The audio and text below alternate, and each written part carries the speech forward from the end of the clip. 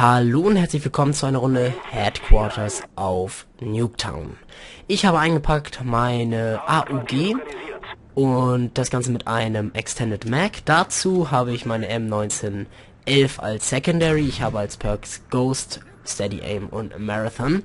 Des Weiteren habe ich äh, eine ganz normale Frag Grenade und zwei Handgranaten plus meine liebenswerte Claymore die übrigens sehr geil ist in diesem Spiel. Wer das noch nicht mitbekommen hat, Claymores sind nicht wie bei COD 6 einfach zu sehen und wirklich einfach zu enttarnen, sondern äh, sehr schwer zu sehen und sie haben einen extrem großen Explosionsradius. Wer das ähm, noch nicht gesehen hat, wird es in diesem Gameplay sehen. Genau wie diese Lags. Und ähm, ja, wird sich wundern, dass so eine ganze Claymore zwei Eingänge locker mit einem Explosionsradius decken kann. Das funktioniert zumindest auf dieser Map, welche sich schimpft Nuketown. Am Ende werde ich hier übrigens einen Score haben von 47 zu 48 zu irgendwas, irgendwas in dieser Art. Ja. Ähm, hier kommt dann meine erste Killstreak, nämlich die UAV, beziehungsweise das Spyplane. Auf der 5 habe ich den Napalm Strike und auf der 7 habe ich die Cobra. Das ist fast das Standard-Setup. Hab das Ganze ein bisschen verändert. Äh, ja, ich weiß nicht, ich ähm, komme auf so einer Map wie Nuketown nie zu einem Chopper Gunner und aus diesem Grund nehme ich auch gar keinen Chopper Gunner mit.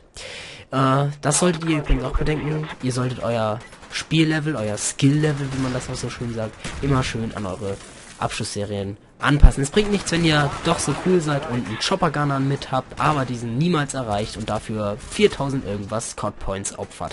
Das Ganze ist überflüssig und einfach sinnlos. Ich selber gestehe zu, ich schaffe ab und zu mal einen Chopper Gunner. Das kommt aber auch eher selten vor. Liegt vielleicht auch derzeit noch mit an den Lags, das ist einfach, ähm, viel zu oft laggt und ja, hier kommt jetzt meine Cobra ins Spiel und jetzt gleich auch der Napalm Strike. Das werden wir auch gleich sehen, es gibt nämlich ordentlich viele Death auf Seiten der Gegner. Ein Napalm Strike positioniert man am besten im gegnerischen Spawn. Das ist auf Nuketown, so wie wir das hier spielen, auf wirklich der kleinsten Map überhaupt, sowas von einfach, weil der Spawn einfach gegenüber ist. Man weiß einfach, wo die spawnen. Die spawnen immer da hinten bei diesem, äh, bei dem Garten da und man kann einfach genug Leute töten. Ähm, das hilft natürlich ungemein. Man kann das aber auch, ähm, so wie ich das gemacht habe, da so mehr auf die Seite legen. Das funktioniert auch. Da laufen auch viele Leute durch. Muss man je nachdem schauen. Aber die Cobra, ich empfehle die Cobra in die Mitte der Map zu positionieren, denn in der Mitte muss jeder durch und die Cobra kann einfach jeden abschießen. Ja, hier bin ich ärgerlich eben gerade durch eine Frag-Granate gestorben. Gestorben, gestorben. Und äh, ja, man sieht hier den Lag und ich laufe mit meiner Claymore einfach mal nach draußen und huch, da kommt einer Puff, tot, ja.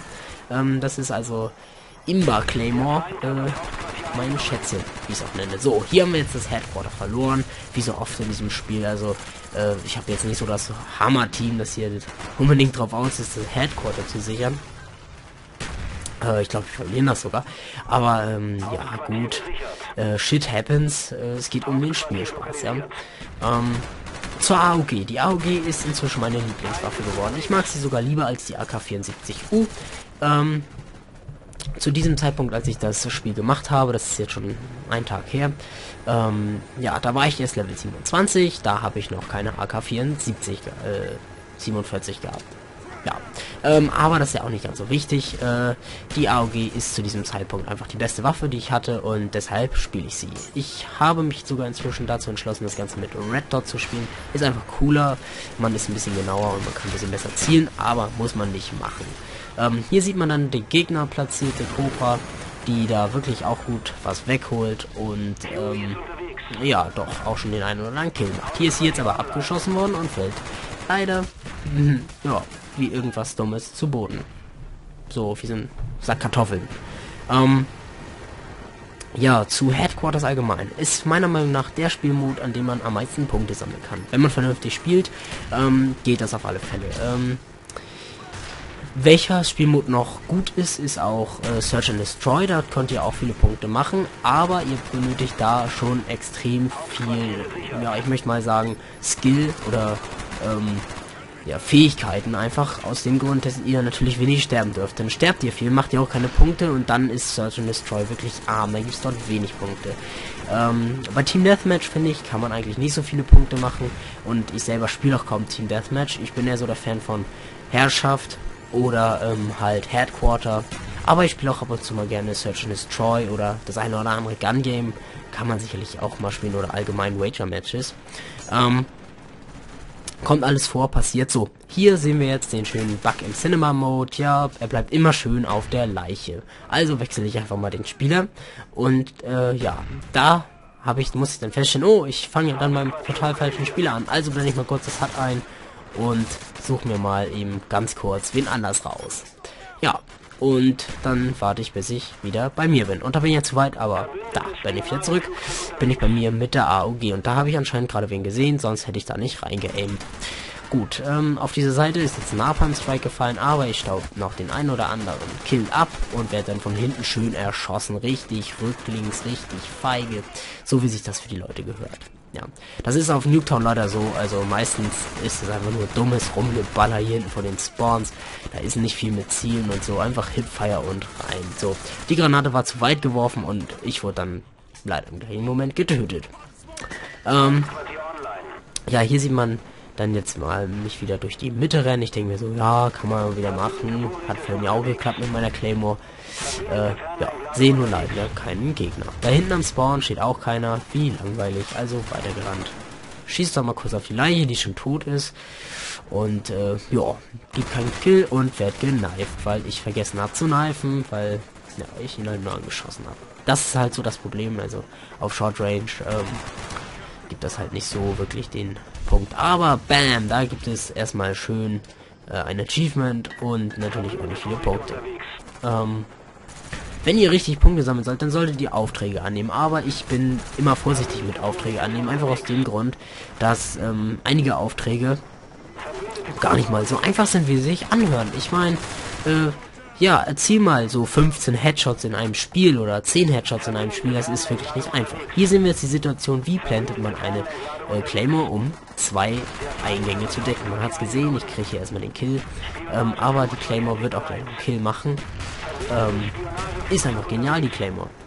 Die kann man da hinlegen, die wird nicht gesehen, die Gegner laufen zu 100% rein. Auf Nuketown funktioniert diese Position des Plantens einfach immer. Das werdet ihr auch in jedem anderen Gameplay sehen. Jeder, der hier oben in diesen Raum geht, haut erstmal eine Claymore da an diese Stelle. Das ist äh, so gut wie ein Gesetz, kann man eigentlich schon sagen.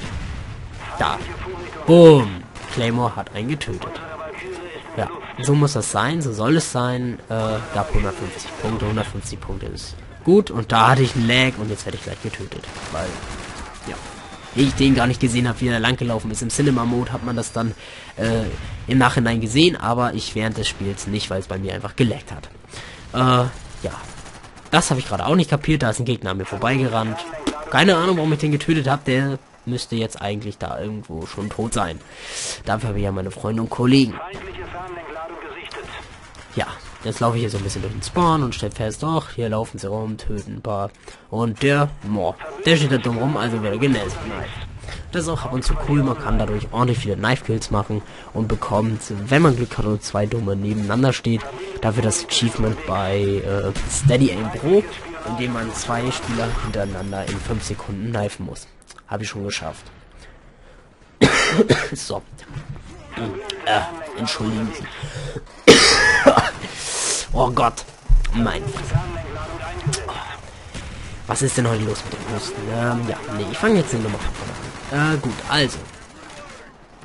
AOG über Range. Eigentlich eine recht gute Waffe, wenn man so immer in mehreren kleinen Bursts schießt. Über in vollautomatischen Mode ist die Waffe zwar auch in Ordnung, kann auch locker töten, aber äh, ja, sie wird halt ungenau wie jede Waffe in Call of Duty Black Ops. Nicht so wie bei Modern Warfare 2, in dem man sich die UMP genommen hat und einfach mal über die Distanz geschossen hat. So, und hier ist einer der Epic Fails, von dem ich am Anfang des Videos gesprochen habe.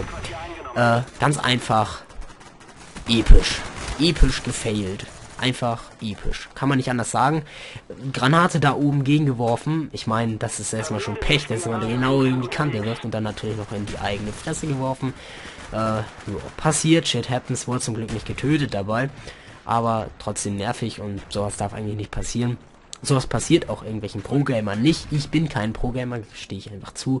Und äh, alle Leute, die jetzt meinen, Hö, bist du schlecht, ey, kannst überhaupt kein Black Ops spielen. Ja, dann sucht euch halt einen anderen Gameplay, Freddy, der das macht. Ich kann euch da zum Beispiel den Commander Krieger empfehlen, der ist cool drauf. Oder auch den Tio von äh, True Cry.